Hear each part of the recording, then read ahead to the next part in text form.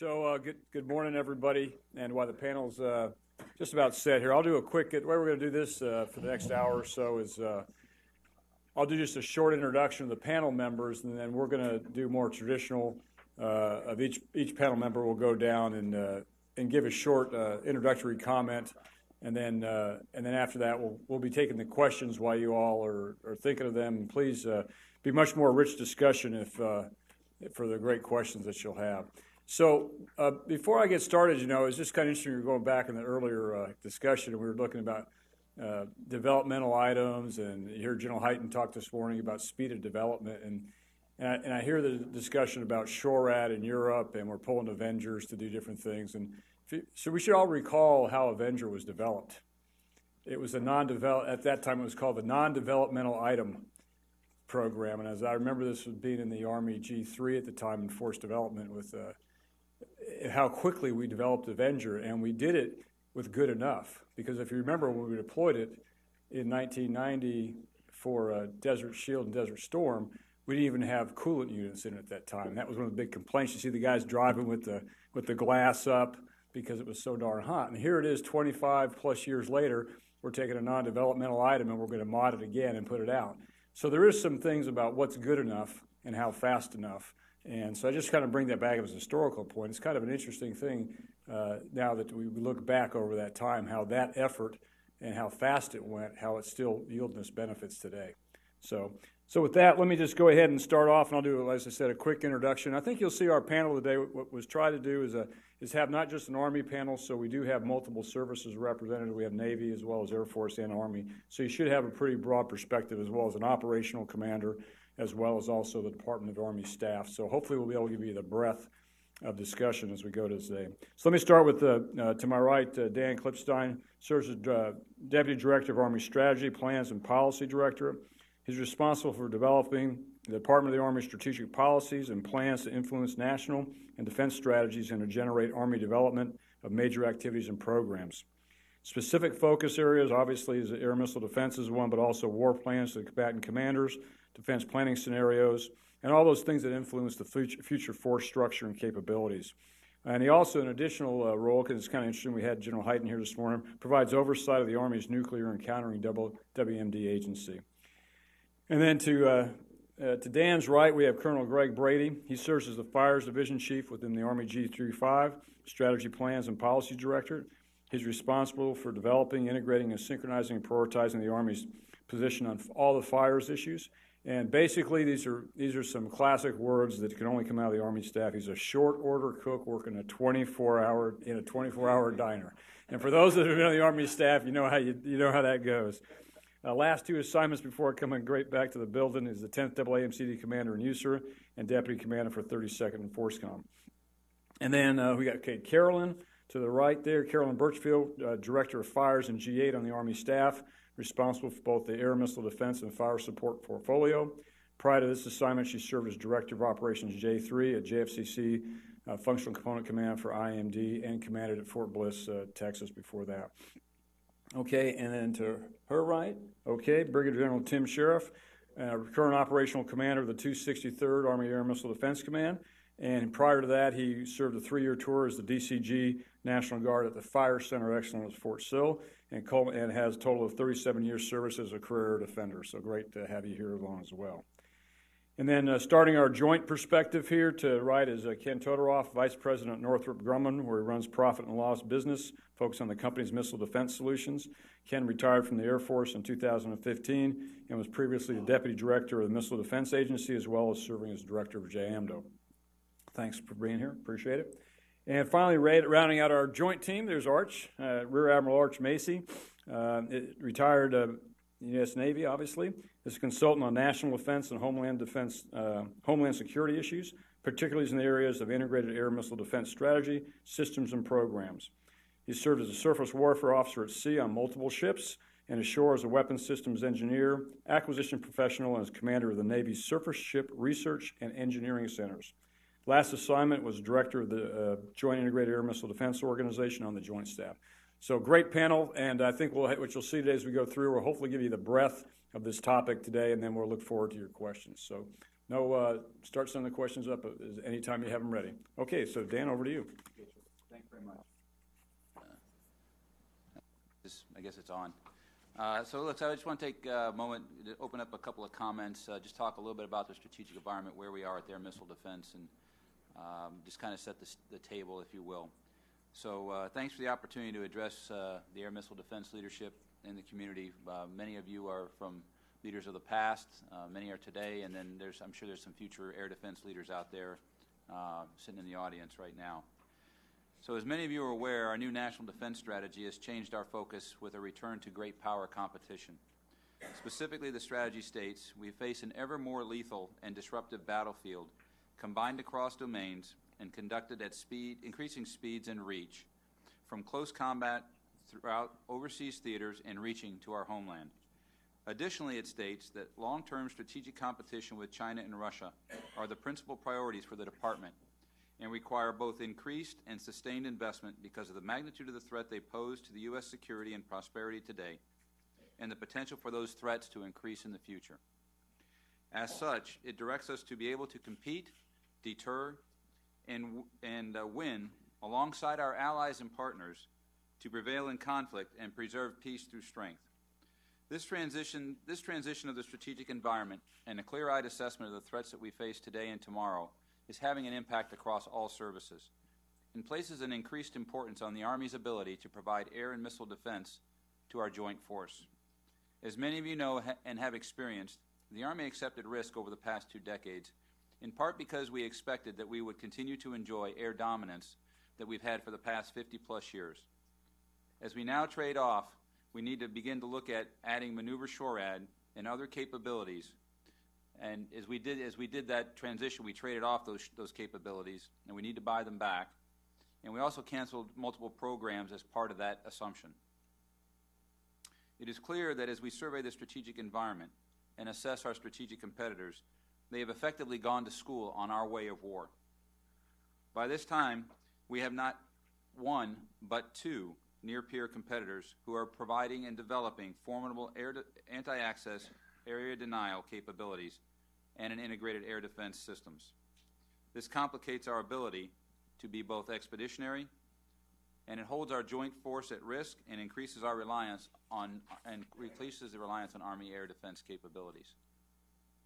Given this focus on a return to great power competition, not only is our is additional capability required, but the capacity needed to it, it needs to be improved as well across all air and missile defense mission areas. We must continue to field a more lethal, credible deterrent to support the defense strategy and its global operating model when you consider it the four layers of contact, blunt, surge, and homeland. During the most recent risk assessment, air and missile defense was rated as one of the most critical areas to be addressed.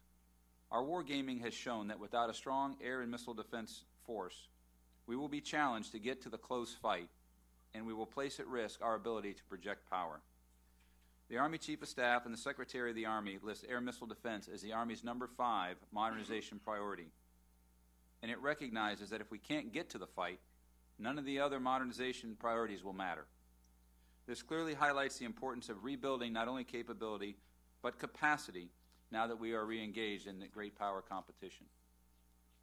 As we implement the new uh, NDS guidance to enable a global operating model and with it a dynamic force employment, we must be alert for a COCOM demand for increased combat capable Army air defense systems across the full spectrum in order to counter ballistic and cruise missiles, unmanned aerial aircraft, rocket, mortar, and artillery, and fixed and rotary wing aircraft.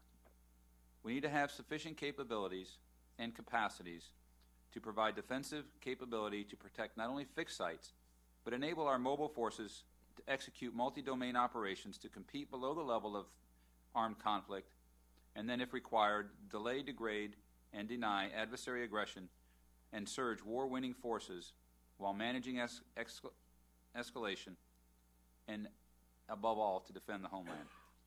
Our capacity today is challenged to meet anticipated warfighter needs, and this is well acknowledged. As an initial fix, we are moving to increase the tactical edge of our force by adding maneuver SHORAD back into our division formations and enhance that with our indirect fire protection capability to enable us to penetrate and operate inside A2AD bubbles. As the threat capability grows more sophisticated, we need to maintain and improve not only our ballistic and cruise missile capabilities with THAAD and Patriot systems, but we must also look to the future and continue to evolve these capabilities and capacities to be both more efficient and more survivable. Our senior Army leadership has recognized the gaps that we have and has addressed these gaps as a top priority, as I've said. But we all know it will take some time to fix these shortfalls. But rest assured, we're moving in that direction. If you saw the closing uh, uh, ceremonies of the Olympics, you saw that the, you saw the drones that were, were positioned there. If 300 drones can silently assemble to create a friendly, waving white tiger mascot in the sky, just imagine what the less what less friendly uses our adversaries have, and what they will show us in the future, and how we must be prepared to to uh, counter those.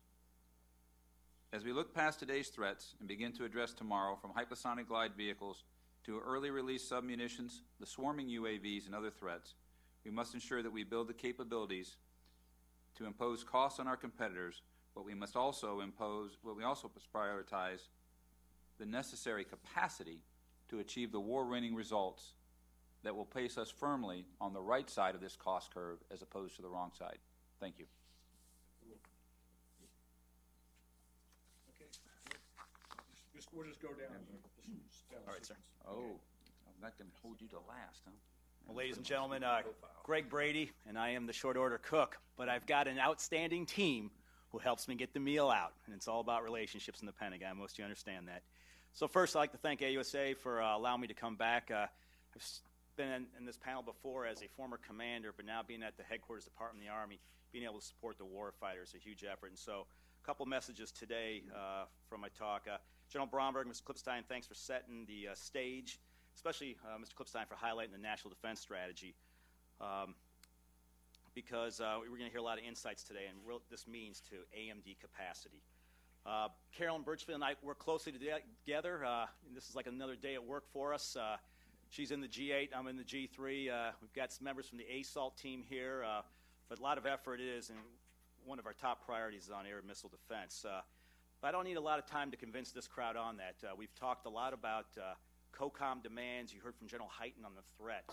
But there's been other documents out there that have highlighted the need, external to the Army, on the importance of air and missile defense. The first one, some of the participants on the panel and in the audience of the National Commission on the Future of the Army about the shortage of our air and missile defense forces, missile defense, and specifically our short range air defense. And I know General Sheriff's going to talk a little bit on that later. But also a national defense strategy calling out the integration of missile defense, but more so a layered missile defense. And I think that's a very important term. Uh, we've highlighted the threat, but also the Senate um, Armed Services Committee Chairman, uh, Senator McCain, had published a paper, The American uh, Firepower, Restoring American Power. And two of the things that he specifically highlight when you look across all the services, and these were recommendations for the defense budget. One of them was a prioritization for the modernization of our AMD munitions, and also developing a highly maneuverable short range air defense system. And so we heard about that in the last panel. But all these documents, when you put them together, really have two key messages. And this one is we've got to enhance the modernization for our AMD forces, but also increase AMD capacity. And the first thing we talk modernization of key capabilities. The National Defense Strategy specifically highlights we will make targeted, disciplined increases in personnel and platforms to meet key capability and capacity needs. Very important as we look at that. And I would tell you, modernization capabilities, we, air defense ranks number five. So, what does that mean? So, I, I direct you to a different venue just a couple months ago when the Chief of the Staff of the Army spoke at the AUSA convention. I believe it was 10 October during the Eisenhower luncheon. And he highlighted the five or the six different capabilities. And he started with number one being long range precision fires, next combat generation vehicle, uh, third being vertical lift, and four being on the network. And then he goes in and says, None of these matter. And why? And direct quote, he said, None of these matter if you're dead. That is why you need air missile defense to protect the force. And so, and he followed up quickly with another statement that the Air Missile Defense Force has tragically atrophied over the last decade. So, what are we doing now to improve that air missile defense capacity? I'll tell you, for the Patriot Force, we have now deployed, we talked about this two years ago, the Dismounted Patriot Information Coordination Central, which is going to give a battery additional capacity. It won't require a battalion mission command element, a command and control piece. So now we can do more with one battalion, increase the battle space. Uh, additionally, we've invested in a formal test detachment. So no longer taking a Patriot battalion, because when we look at the modernization efforts with IBCS and some of the other programs Mr. Pike highlighted, now with a formal test detachment, we'll be able to take that Patriot battalion and put it back into the operational force. So two key areas there with one of, you know, the, the big workhorse for the Army right now, which is the Patriot missile system.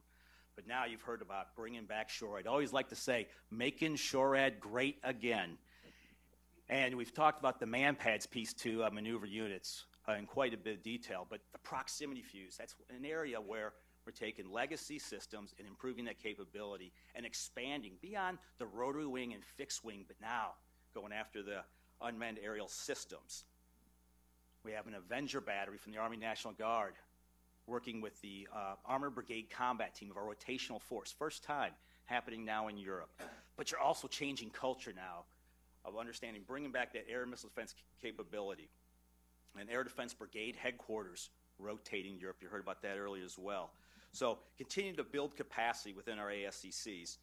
And then also, Carol and I have been working together over the last really two years uh, with the maneuver SHORAD and indirect fire protection capability. Two different systems that we would do need because you're not going to have one magic bullet, one silver bullet to take care of all of these threats, which goes back to my earlier point on why layered defense is so important. We're reinvigorating the CTCs now. Just talk to one of the Bronco elements out there in air defenders, six of them out there. And great news to report that we're starting to really improve our OPFOR capabilities. Emphasis now within the brigade combat teams for the, the ADAM cells, as your C2 element there, organic. That's really your only organic air missile defense capability now. But with the uh, Stingers, uh, excuse me, the MANPAD systems back within the formations, and then the Avengers, this is going to provide a key capability. But more so, again, culture change of educating and training really subordinate commanders the importance of air missile defense, not only active, but our passive defense measures. And then finally, across the headquarters department of the Army, going after the counter UAS threat. So, uh, uh, my organization, uh, the uh, Fires Division, uh, was uh, officially appointed by General Anderson in the last year as the lead now to synchronize and integrate all of our counter UAS efforts across the Department of the Army staff. There is not one organization that does that. So when you hear a couple question statements earlier today, like who's pulling things together, we just started doing that, and uh, obviously a huge growth area. But lastly, I've talked a lot about the AMD capacity, like the you know the hardware and the software. But I think to take it to the next level with AMD capacities, we've got to look at integration. That's the next level, and we spent quite a bit of time on today. So I'll be brief on the Joint Force. You know, right now initiatives to uh, integrate THAAD and Patriot, THAAD and Aegis BMD, uh, but even more so than that, we, have operated in joint kill chain exercises with uh, services focusing on engagement operations. But now, and you saw the picture earlier with General Dickinson's slide brief, Roving Sands is back after almost 13 years. And why that's so important, because this was the premier ground based air missile defense exercise in the world. In the world. You had all four services participating in it we had our allies, at least seven different countries, uh, uh, and with their equipment operating side by side. So that's one of the reasons why General Chris Spillman and uh, Steve Burnley, Command Sergeant Major uh, Burnley from the 32nd and FORSCOM are not here today. They're actually executing uh, roving sands right now. Uh, but I believe this exercise is going to allow us to work towards our integration in the joint force. And then the, la- the second piece of, of integration has got to be with our coalition our, um, with the coalition and our allies. And this is something that's very personal to me after serving in uh, U.S. Army Europe. Uh, you've heard the, uh, the Tobruk Legacy. This was an event, really, it was a grassroots effort. started by the Joint Chiefs. And you know who the Joint Chiefs are? It was three Army chief warrant officers that started this, looking at how can we take different systems. And we started with the Czech Republic, uh, Slovenia, and, uh, and with the United States. And looking at, you had different mission command systems, different sensors, individuals speaking different languages, different interceptors, but figuring out a way to combine this capability to establish one common tactical air picture. And where this has grown, and it shows you now another culture change on the integration piece with air missile defense in U.S. Army Europe. This uh, Tobruk Legacy, over 10 nations participated, is going to be part of Saber Guardian, which is one of the major NATO exercises this year. So great efforts there. So, ladies and gentlemen, in, sum- in summary, we have much more to do, but a lot of initiatives that are working very well right now. And I would go like to back to General Hyten's point because when we talk modernization of our key capabilities, it leads to a lethal joint force. And a lethal joint force leads to readiness, which is our number one priority. And within that priority, we must ensure our AMD soldiers have the tools they need to deploy, fight, and most importantly, win across the entire spectrum of conflict. Thank you.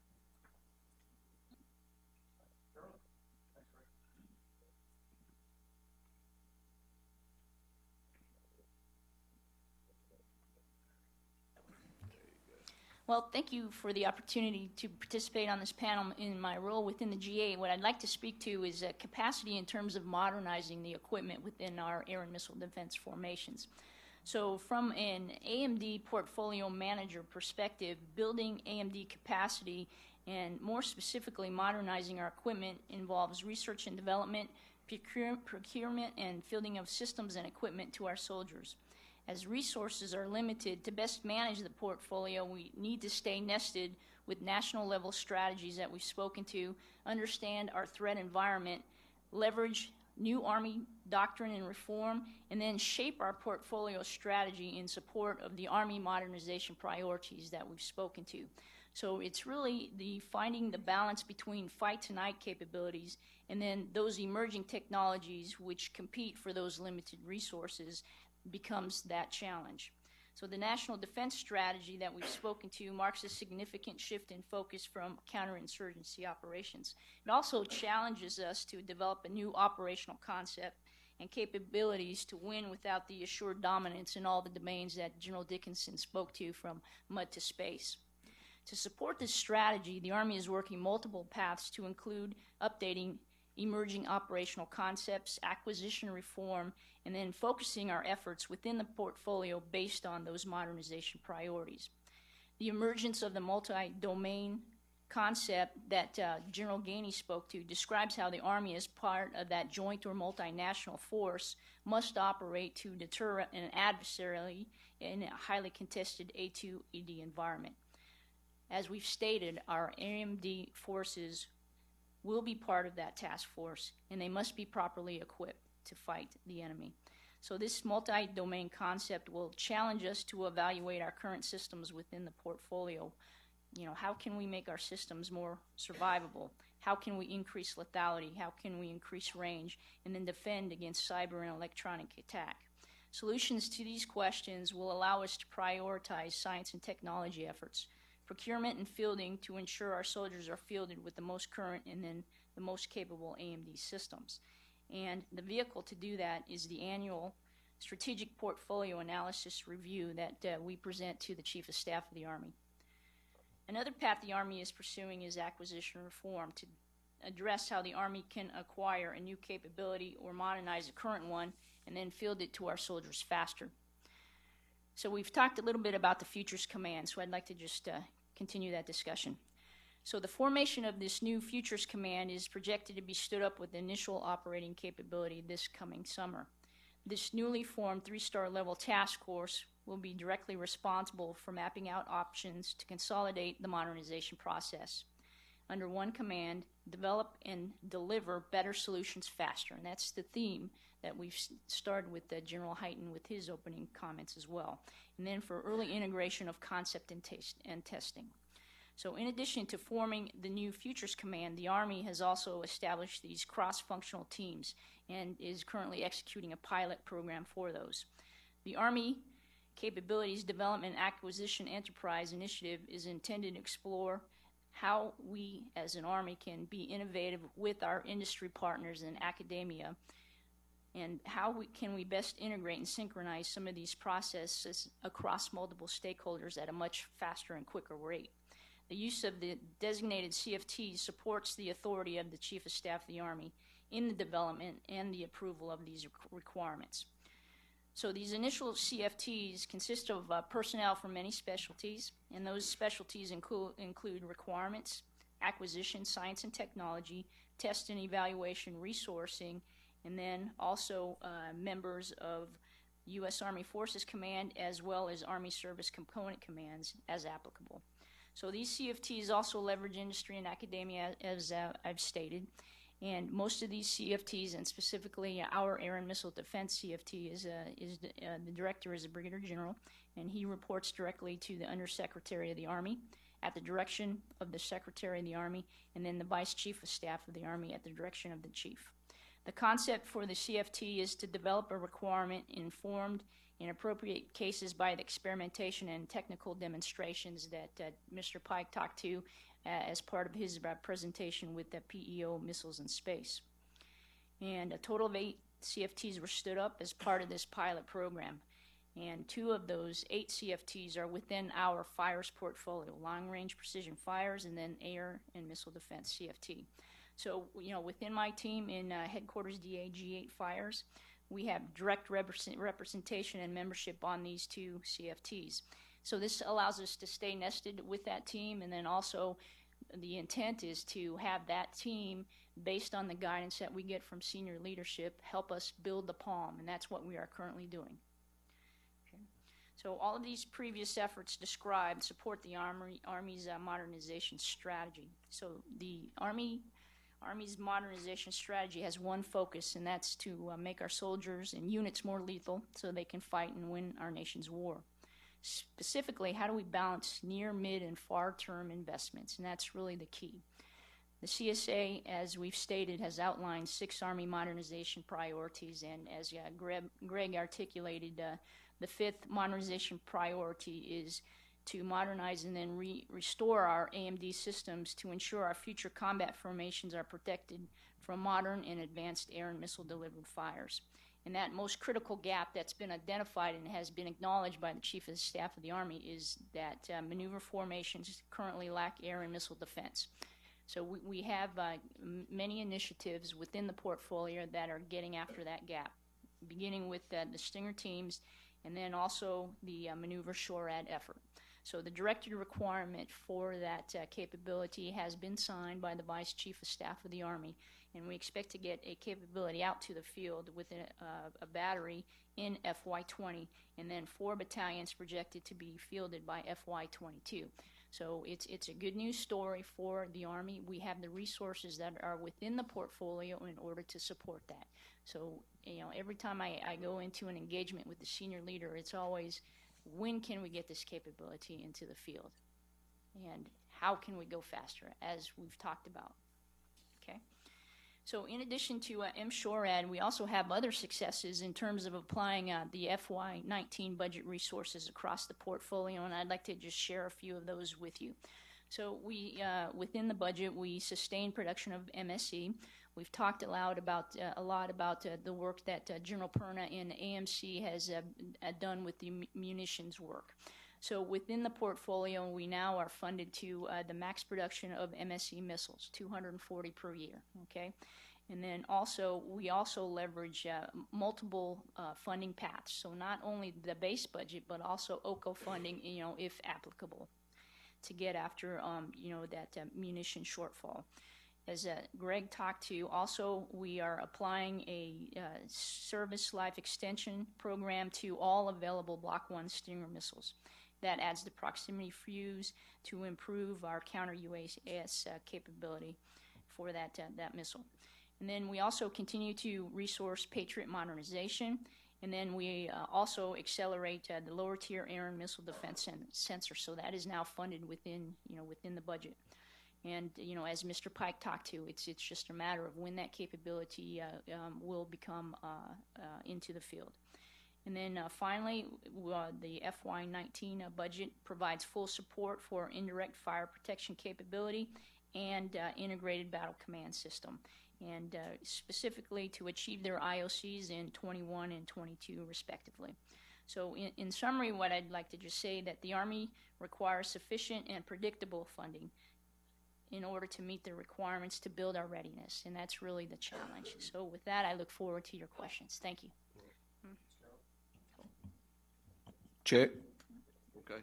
Good. I went and ate a Snickers bar on the break before the last one. I thought we had another break. That's why I was late to the podium. I had to go get my jacket, but uh, I wanted to make sure I was just as enthusiastic as Greg Brady.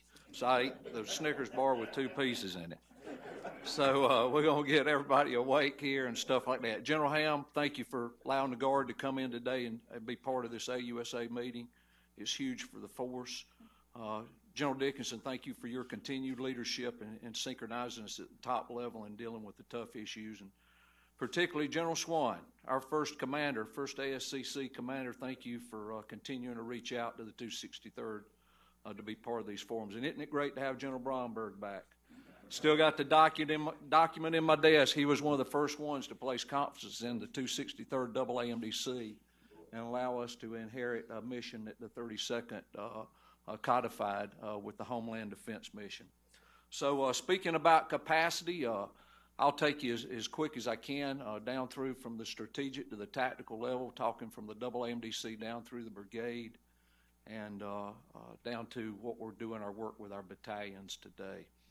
You know, uh, there was a little saying that come up as, as we started operationalizing the Guard, right, as, as the war times kicked off, uh, that we've uh, lived in in the past years, and it was, this is not your grandfather's Guard. That was as it first came out. And then I got to saying, well, my dad served during Korea and all. I said, this is not my dad's Guard. Well, this is not the Guard that I served in now, so it's not, it's not the Guard I started out in. And the reason I say that is because uh, the contribution of the National Guard in the areas of air and missile defense have significantly changed over the years, and I believe most people in the audience has realized those changes. And it's only been through the work uh, with the active component between, as uh, Greg Brady likes to call it, Compo 1 and Compo 2. We got some jokes about that. Uh, that, that we really were the first element as, as we tried to get out of some of those old stigmatisms to where we became one team, one fight, one air defense community. A lot of that's codified through the great soldiers today, like Command Sergeant Major Dodson from the Fire Center of Excellence. He takes time to get out. And of course, it comes down from SMDC. So the 263rd operates in a very unique theater uh, in the NORAD and NORTHCOM theater, a binational command across three regions, three AOCs. Uh, and over the years, uh, uh, since we ta have taken the mission, uh, we've got codified area air defense plans in each one of those regions. Uh, we've got uh, a very good look at what we do in our contingency plans to defend certain assets. So we're, we're pretty well vested. And then, of course, we conduct the, the daily contingency operation of Operation Noble Eagle. A lot of people like to prefer to the Homeland Defense Mission as the NCR IADS. I challenge you that it's much more than that. It is uh, just like as General Gainey has a portion uh, in his area of responsibility is a Homeland Defense mission because when you dig down in to what the soldiers uh, and airmen are, are particularly are doing today within the Homeland Defense mission, you find yourself on any given day in any state uh, within the United States proper and, and any region uh, be it Alaska or Canada, providing surveillance support as that part of the joint engagement sequence. So we continue to evolve. A lot of the uh, the uh, uh purpose that we have is found within our work with other AMDCs. We just got back from supporting the 94th in their ex-eval, which was a huge opportunity to look at the uniqueness of the PACOM theater and the challenges it faces the 94th every day. Our other sister double AMDC, the 10th double AMDC, and Colonel Shank is, is just as vital uh, to our existence, uh, supporting their realm of mission sets. So we continue to evolve, and then uh, we continue to evolve, uh, uh, provide the force control and trade, just as the 32nd does for their forces. We uh, continue to be enabled to do that. Uh, significantly, uh, in 19, in the start of 19, we will reactivate the double AMDC as a multi-compo unit.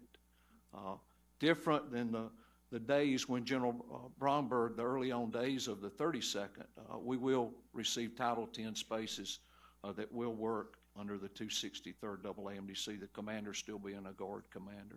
So we're looking forward to that. That will further uh, enable us to touch different mission sets with authorities that, that we need. The brigades, uh, not many people realize that from a brigade footprint that what we do with the task force command and control and the NCR IADS with this uh, uh, heavily uh, responsible mission uh, for task force command and control, which involves those air battle managers and those tactical directors, uh, that the brigades actually have a, a, separate allocation for those 44 spaces. So our brigade MTOs remain intact uh, while we're doing that mission set. So that doesn't affect our ability to, uh, to rotate as a brigade headquarters. I got a note uh, this morning from, uh, it was this morning my time, uh, from Colonel Rich Holy. He's just mobilized the 1st Brigade Mission Command element back into Europe uh, to work for Colonel Dave Shank uh, to mission command those subordinate units under the 10th Double AMDC. Very exciting if, if you want to talk uh, to the 10th about what they've got planned uh, to get this first footprint back into Europe uh, and, and establish uh, the groundwork for what future will probably be a brigade headquarters, a permanent brigade headquarters in Europe. but we've got the next rotation lined up. Uh, Colonel Tom Moore's in the audience today. He's part of uh, one of the following panels. He's the task force commander. He'll uh, he'll close up shop up here in the NCR, and he'll go back and he'll mobilize uh, the brigade arm of the 174th out of the Ohio National Guard. He'll move on over to Europe to follow Rich Holy and and further vest a mission and lay the groundwork for 5-4 ADA. Right, lay the groundwork for the the stand up of the battalion uh, in Europe. Some months ago, we realized that our brigades were not ready and relevant. We realized it before some months ago, but some months ago we started to address it. And we looked at the deltas between our 14 Echoes, uh, 140 Echoes, 14 Alphas, and ADAFCOs. And we said, is this a problem too hard to solve because we don't have Patriot and THAAD in the Guard? Yes, we have. We assess some active component officers and NCOs uh, in our ranks, uh, but our, our depth is thin with knowledge to be able to be a ready and relevant force to go in and be trusted by the Army to go in and command and control subordinate forces. So we addressed it. And we addressed it in the right kind of way with the support of SMDC, General Dickinson, uh, uh, some help there, particularly the Fire Center of Excellence, and uh, uh General Spillman at the time, and then Randy McIntire. We built a program, and we brought the best of the best out of the active component to set up the program. And as a result, 14 of the PACs that are going to work for uh, uh, Colonel Shank uh, have two uh, certified ASI DAFCOs. They're some of the best air battle managers uh, for CRCs in the inventory. Has a qualified 140 Echo and 14 Alphas that understand staff work when it comes to uh, upper tier and mid tier. So we're very proud of that program. as we come down through the down into the hot topic of the day, I've heard it mentioned. You know, I didn't make the little tick marks, but boy, maneuver SHORAD. What are we going to do about these formations here, these battalion formations?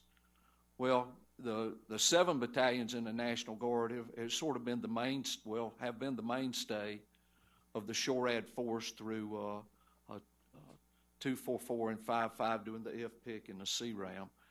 And uh, we're spending right now at about a 1 to 3 4 3.4 is our, is our spin rate on our battalions. That's with CRAM, NCR IADS.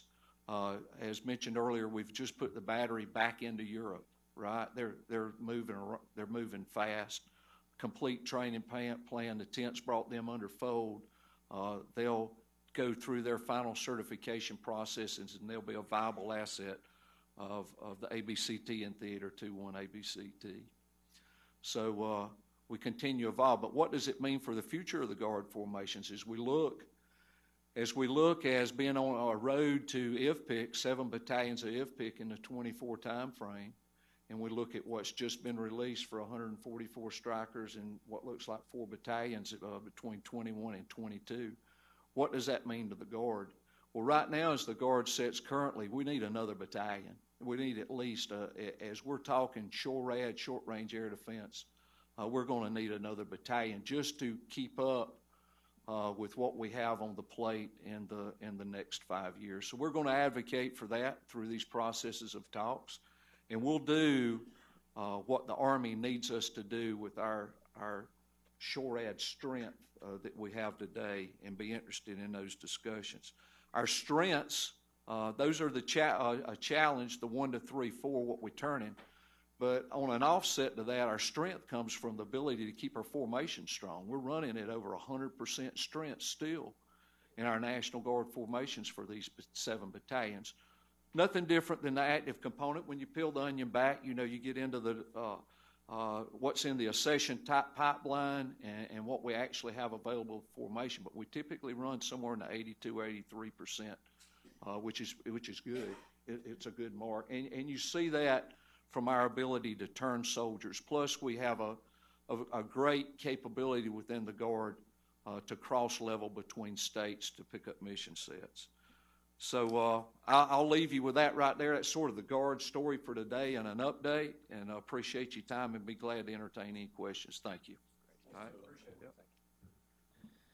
Well, good day, everybody. Uh, it's a real honor to be here. Uh, General Ham, uh, General Swan, thanks for uh, having me, me in, and um, uh, really appreciate the opportunity to give you my thoughts today. Also, uh, want to thank my panel members who, with whom I have a, a great deal of respect, and um, particularly glad that my friend and, and mentor Admiral Macy's here because without him, I would truly be the odd duck on the panel. But it's good to have the Navy guy here at the end.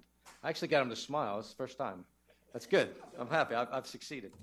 Uh, and I'm, I'm glad that General Hyten is no longer here because as an airman, you know, whenever you're around General Hyten, you feel kind of inadequate.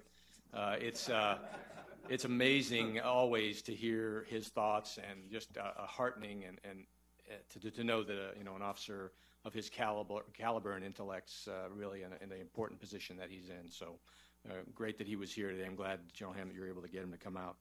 And, um, and I, now I got to follow Tim Sheriff in my remarks, so it's always another another tough task for me. But it, but uh, pre- appreciate we've we've worked together since uh, the Nord Northcom days, and appreciate what you and your soldiers do.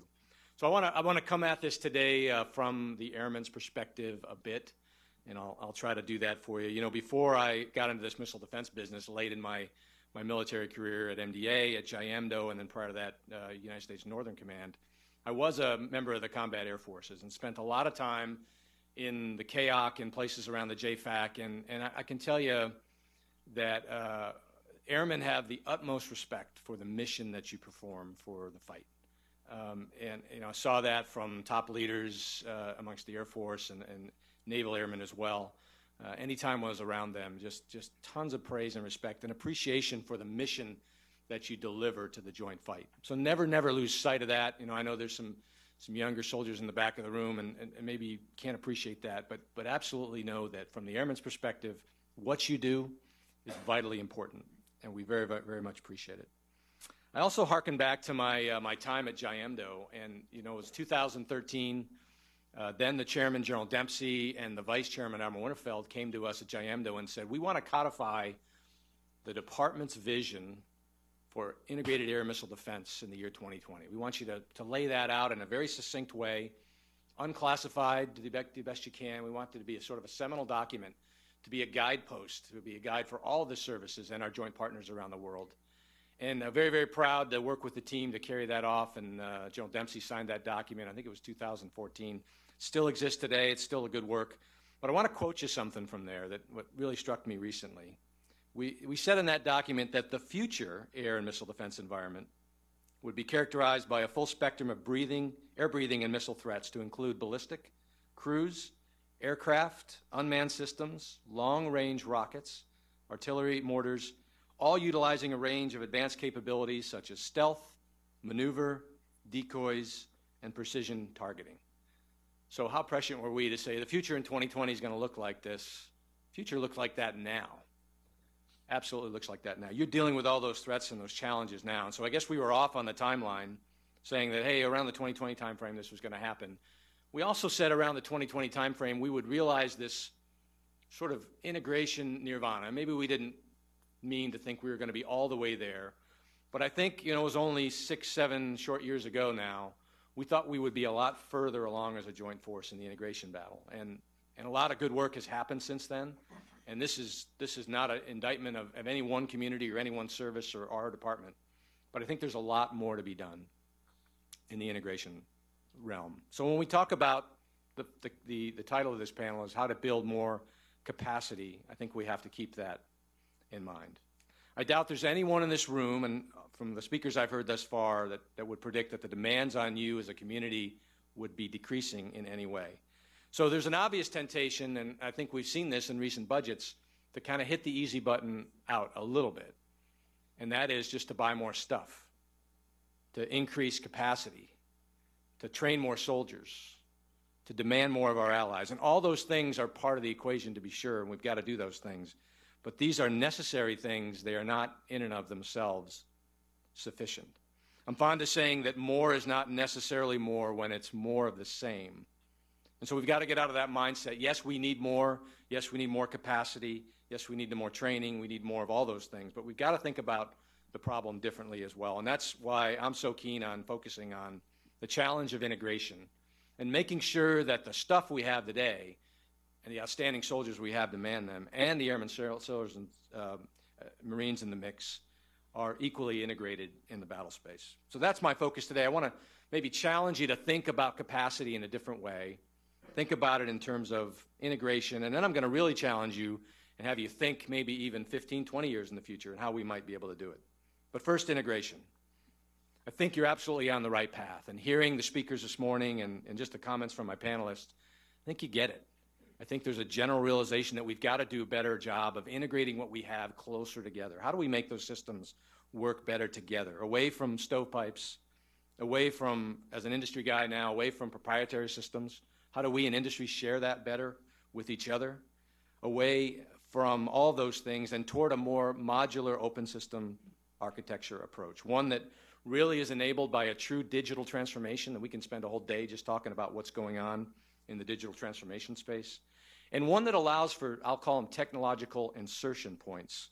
As that threat that we talked about in Joint Vision 2020 that's now come to fruition earlier than we thought has come to fruition, we need to be, have a, a design and to build capacity in terms of having capabilities placed into our systems that allow us to react to the threat as it continues to develop and mature and grow, which we know it will. Particularly, as has been mentioned several times already today, then now the focus from the national strategy level on the great power competition. Clearly, that threat's going to continue to develop, and we've got to have ways to deal with it. Integration, open systems, being able to have those approaches, I think, is absolutely key. Greg said it well. Integration is the next level. There's a realization that we got to get there. We're not there yet. No service is. My former service isn't. I, I dare say that I don't think the Army is there either. But I think we have a realization that that's where we need to get to. So let me now challenge you to kind of, if integration is the next thing, I think I would challenge you to think about something and just put this on the table, maybe food for thought. The next next thing after that, I really think is taking advantage of something that I'll call just the C3 data fabric. It's forward thinking to be sure, but it's at the nexus of sensors, effectors, platforms, comms, and C2, providing an opportunity to position all the data in the battle space to enable a vision of forward-thinking integrated air missile defense. Away from our current state, which I think remains largely siloed with respective platforms, systems, or communities, services tasked with collection and processing with little cross-apparatus synthesis, fusion, or dissemination, and toward a, a data-driven end state that takes advantage of a data fabric that provides a seamless integration, analysis, usability, and dissemination of disparate and distributed data streams across customers, systems, and domains. There's a whole lot of conversation now about multi-domain. We've heard it here today. Multi-domain is clearly part of that, but I think we can take it a step further. So how might the C3 data fabric apply here, and how might it increase the capacity for the Army in the future of Army air and missile defense? I would argue four ways. Number one, cross operational levels of integration. So from the tactical all the way up to the strategic, information across those levels leveraged to generate a comprehensive COP and picture the battle space to optimize decision making and efficiency of the, of the equipment and the tools that you have today. Two, across system integration, so across platforms. In an airman's perspective, maybe it's a UAS talking to an F 35. How do I share that data amongst those platforms? And then taking it a step further into three, how do I share that across domains? I don't think we do either of those things particularly well today, and we need to get better at them.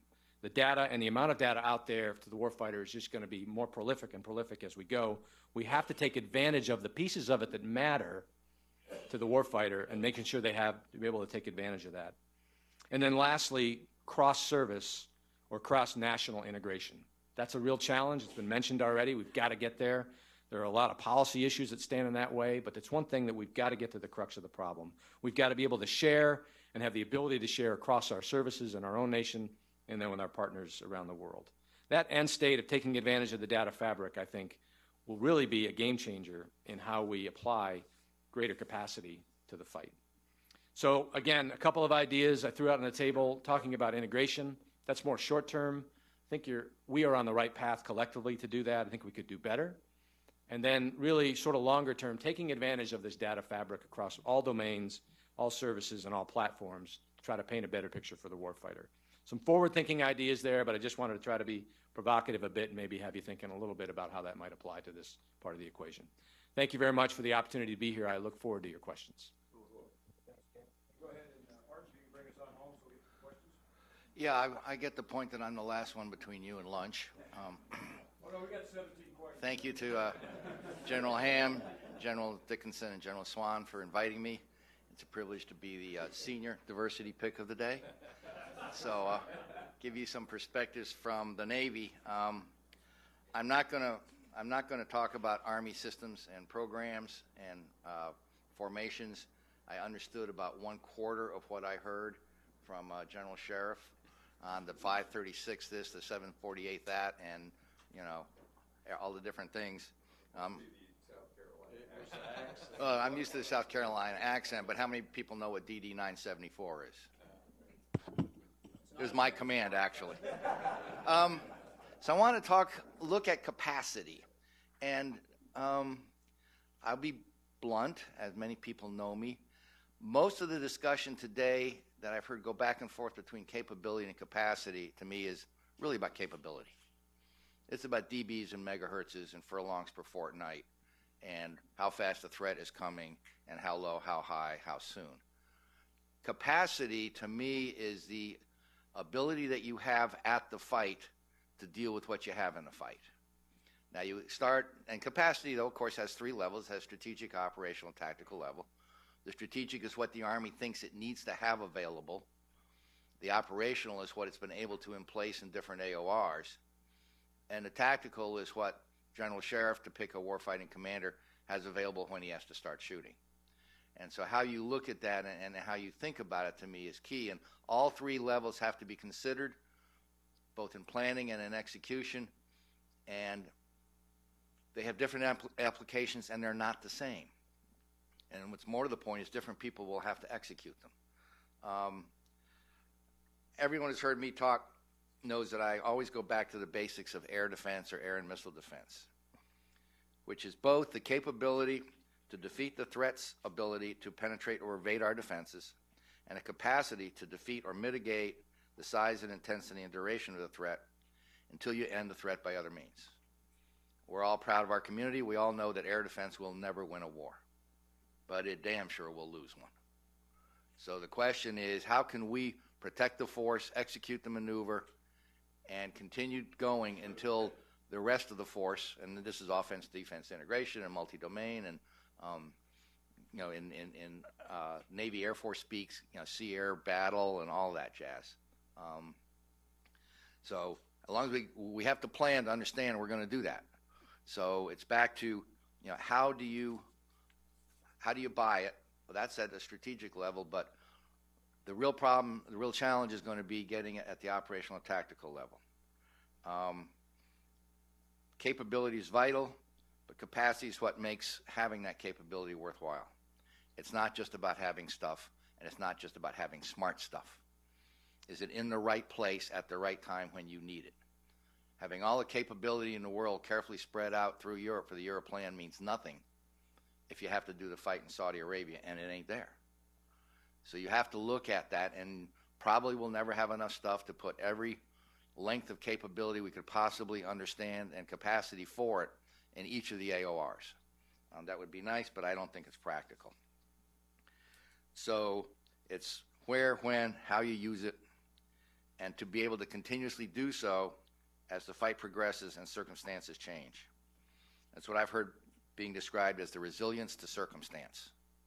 Because you will have those, and they will not be, as we all know, what we thought. The enemy gets a vote, and the enemy also gets to keep voting.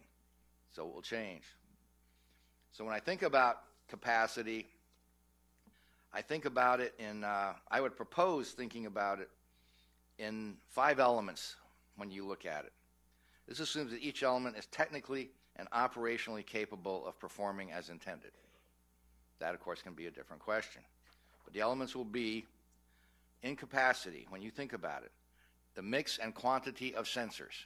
That's been discussed a lot today. The mix and quantity of effectors. Then the ability to integrate them effectively in technical space, a lot of what uh, Ken Todorov talked about, I think. The ability to integrate them effectively in planning space, multi domain fires, and the ability to integrate them effectively in ongoing employment. This is back to the thing you got to keep doing it until the war is over. You can't end the war, but you got to keep doing it until the war is over. Um, and of course, this is joint from the beginning and will have to be that way.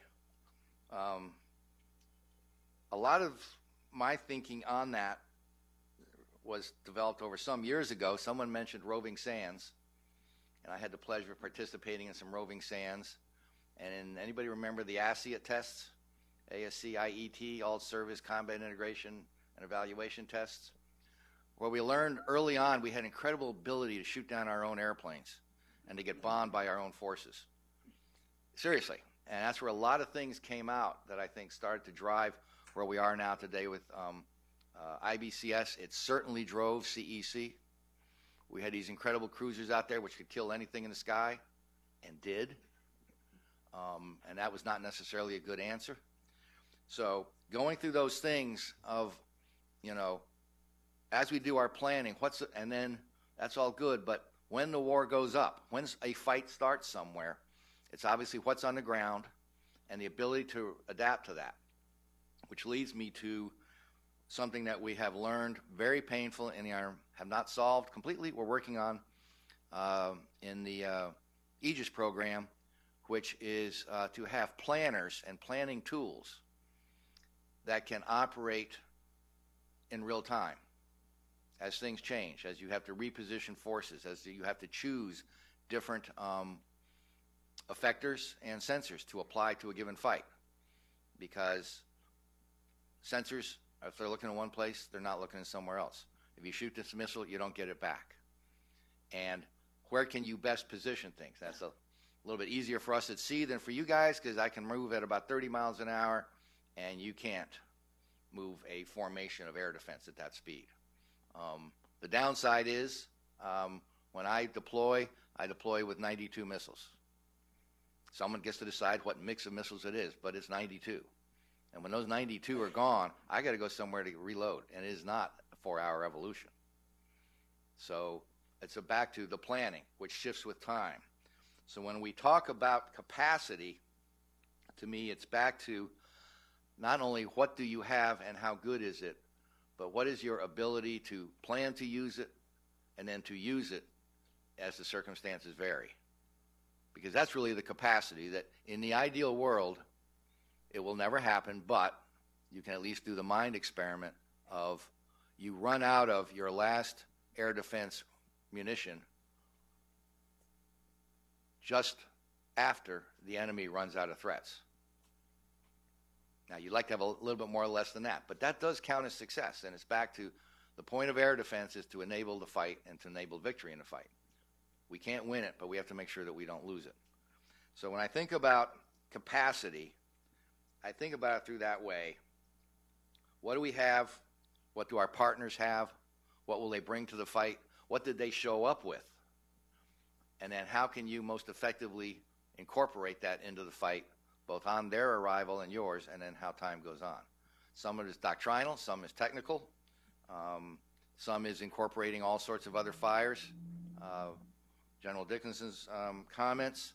Um, uh, my boss at the Cypress International, uh, Dave Halverson, which I think a number of you people know, and who spent a large part of his life thinking about that problem.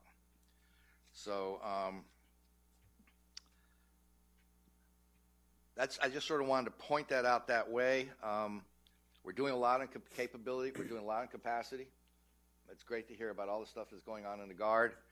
Um, I was incredibly impressed when got my when I was JIAMDO and got my first brief on um, uh, NCR and the BDOC and all the things that they were doing there. And like most people, maybe it's obviously not used, news to you, but to most people outside of the Army Air Defense community, going, "These are Guard guys." Oh yes, sir. The Guard is doing the air defense of the United States. Well, I don't think most people understand it.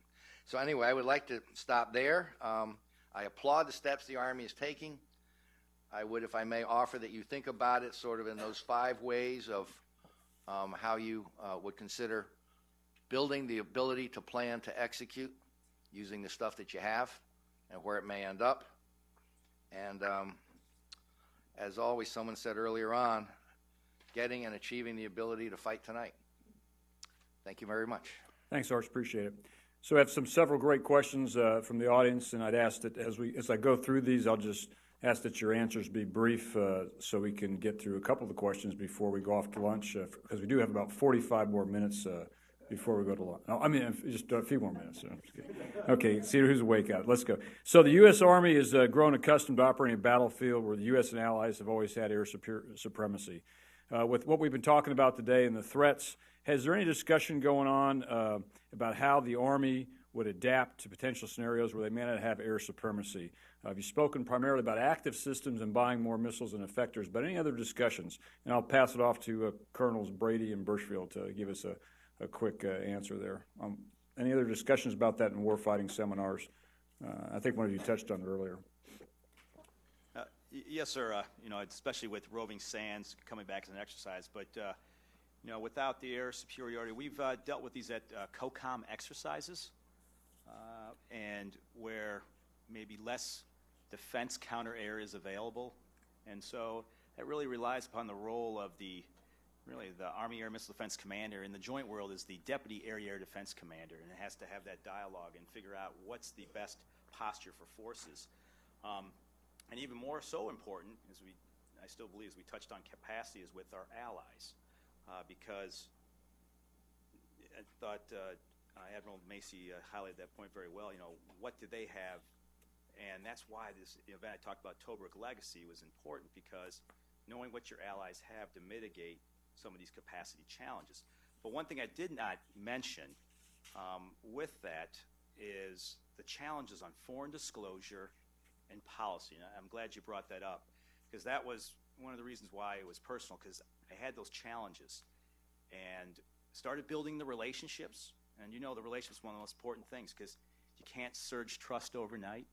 You know, term request for forces, you can't RFF trust.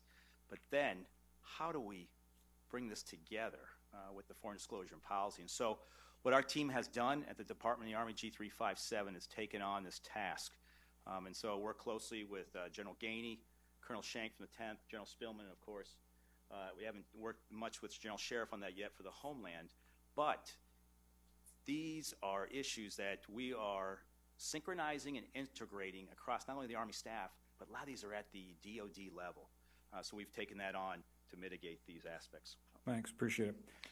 What I would add is that uh, as we operate in a contested environment, uh, you know, as we uh, look at the portfolio, what is it that, uh, from a science and technology perspective, and then also the Strategic Capabilities Office, those efforts, and also with, uh, you know, SMDC with conventional prompt strike and, and some of those uh, other um, initiatives, you know, what technologies do we as a community bet on that will help operating in that uh, contested environment? And then when is the appropriate time to put funds towards that effort in order to perhaps transition that technology into a program of record? That really becomes the challenge as we as we look to manage the portfolio.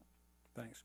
So this- question, uh, the next one I'd like to throw out is maybe for Dan and for, for Arch is, uh, is there, what organization do you think today is in the best uh, position to bridge offensive and defensive capability discussions, uh, such as countering hypersonic weapons and evolving threats? Is there an organization that has the right authorities or the right influences to, to ensure both programmatic as well as policy changes? Because we talk about so much this cross, uh, you know, cross-functional areas there. So if I could ask Dan, maybe Arch, to give us a comment on that? Yeah, so uh, great question because I think that's one that we're wrestling with right now in a lot of in a lot of different ways. Um, you know, one would automatically turn to MDA because of the science and technology that's related to to getting after some of these uh, requirements. But certainly, when you come back to a policy question, you have to come back to looking at uh, who has the equities, uh, biggest equities in that uh, in that fight. And you know, OSD will clearly want to have a say in, in what those policies are. The Army certainly has to have uh, a say at the table. And so uh, I think if you were going to pin the rose on somebody to at least lead the fight uh, in this in, in, in developing some of those capabilities, or at least in the science and technology, uh, you'd have to give it to MDA. But then you certainly have to turn to the Army in order to execute the outcomes. Thanks. Arch?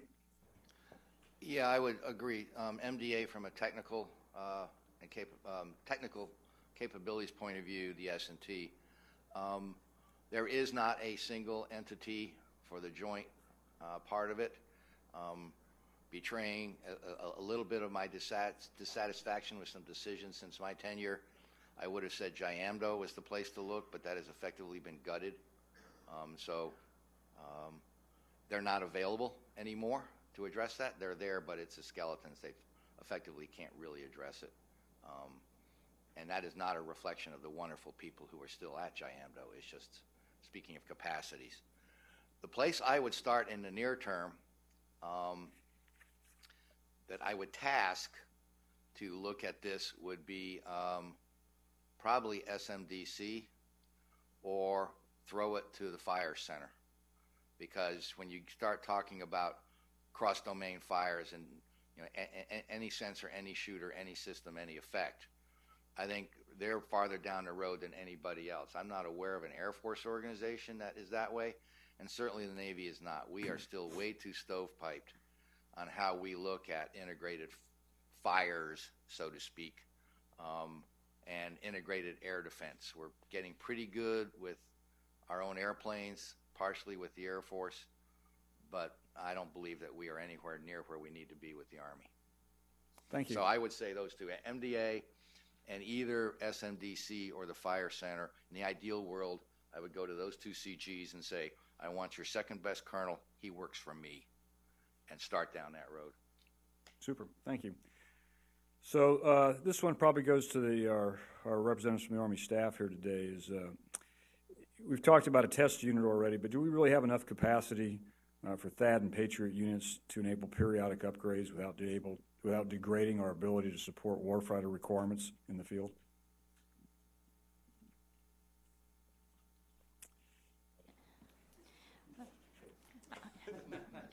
Short answer, no. But, uh, you know, I think, uh, you know, the uh, strategic portfolio analysis review that I spoke to is an annual event that, that uh, again, our, where our portfolio goes in front of the chief and we, we talk about priorities and then we talk about the strategy. So SPAR 20, what we looked at was uh, the midterm from uh, 26 to 35. You know, what, what does that strategic environment look like? And then are we properly postured in order to fight in, in that type of environment? And then it, you know, it goes into literally rack and stacking from one to n of what we think those programs sh- should be and what level should they be funded to. And then, uh, you know, obviously we, we present that as a community to the chief, and we go through uh, cross portfolio to determine, you know, again, um, how does that tie into the Army modernization priorities? How does that tie into fight tonight capabilities? And there's a rack and stack across uh, the Army to determine, you know, what's most important, if you will, and then what level of funding um, you know that occurs at. So, but uh, you know within within our portfolio, the fires portfolio, there is you know, mon- money that's intended to be um, RDT&E E and then also procurement, but it's, you know, it's that balance between the two. But, you know, certainly in, baked into um, each program of record is um, uh, an intention to continue to modernize that, that, that equipment or that late, latest software drop. And I'll turn it over to Greg if you have anything to add. The only thing I would add is, is to balance that from the program aspect, but we have to look at the operational requirements. And that's the most important then is looking across our combatant commands at the integrated priority list. And as Carolyn said, you rack and stack and understanding what are our capacity challenges. And most importantly, where do you want to assume risk? Okay, thanks. So I think we are actually out of time according to the big timer there. Is that correct? Yep. Yep. So time for one more. Okay, so we'll do one more. So, so let me, let me, there's a, there's a good question here. Let me see if I can, probably back to, uh, to Ken and, uh, to start with here is, uh, and I'm going to shorten this question up. I apologize to the person who wrote this, but uh, when we look at all the IAMD capabilities we've talked about today, is we know that uh, what's our ability uh, and what are we doing? What are your suggestions and thoughts to engage particularly non-ballistic targets at maximum targeting ranges possible? We know that a lot of our effectors and our sensors aren't because of the way they've been developed, haven't been paired together properly over the years, just because the normal way of doing business. So what are what are your thoughts about getting out, maximizing capability? Because you talked about integration pretty heavily. So maybe you could pull on that a little bit. I think would be a good way to. Yeah, my, my first thought is back to this point, as sort of alluded to, this digital transformation point that, um, you know, we're develop, we're on the precipice now of sensors, all of industry is, not just my company, that, that really has the ability to, rather than do, um, you know, tile changes, we can do software upgrades on a digital, set, all digital sort of system, and that allows you to really kind of react as the threat does change and mature. It's sort of a, one of those technological insertion points again. Uh, I, I would say that we got to look to the future of this all, all digital systems, digital transformation. and That might provide just a short answer to some clues to how we get at the non-ballistic threats a lot quicker, and particularly as they change and evolve. Okay, thank you. Any other comments on that last question from anybody? Okay, if not, I think we are done. Thank you very much for the great questions.